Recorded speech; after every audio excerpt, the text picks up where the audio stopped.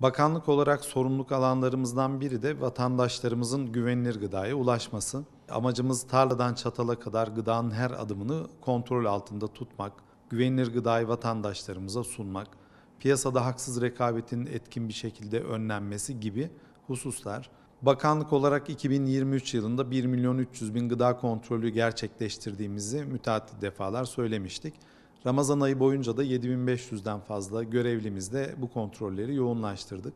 Mübarek Ramazan ayı ile birlikte halkın tüketim alışkanlıklarında oluşacak muhtemel değişiklikleri göz önünde bulundurduk elbette. Özellikle tüketimin artması muhtemel. Un ve unlu mamuller, pastacılık, tatlı ürünleri, ekmek, şeker, şekerli mamuller, et, süt ürünleri gibi gıda ürünlerini üreten ve satan işletmelerin kontrollerine ağırlık verdik. Yine toplu iftar yapılan toplu tüketim yerlerinde başta hijyen kontrolleri olmak üzere gerekli kontrolleri yürüttük. Ramazan paketi, kolisi adı altında muhtelif gıdaların bir arada yer aldığı paketlerin de yine satış ve dağıtımının yapıldığı iş yerlerinde kontrollerimizi gerçekleştirdik. Bu kontrollerde gıdaların son tüketim tarihiyle etiket bilgilerini kontrol etti arkadaşlarımız ve gerek görülmesi halinde numuneler aldılar. Bu kapsamda Ramazan ayı boyunca Türkiye genelinde 104 bine yakın denetim gerçekleştirdik.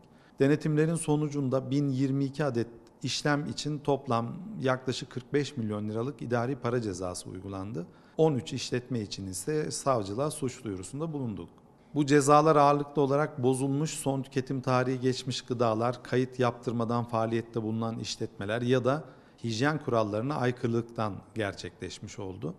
Şimdi Ramazan bayramının e, yaklaşmasıyla birlikte yine denetimlerimizi artırdık.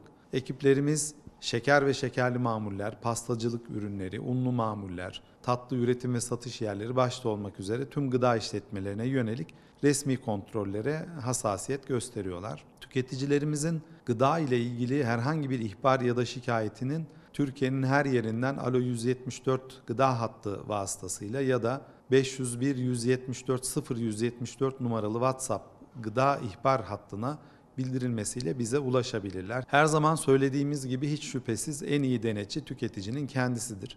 Tüketicilerimiz bu sürece ne kadar dahil olurlarsa o kadar hızlı ve kolay sonuç alabiliyoruz.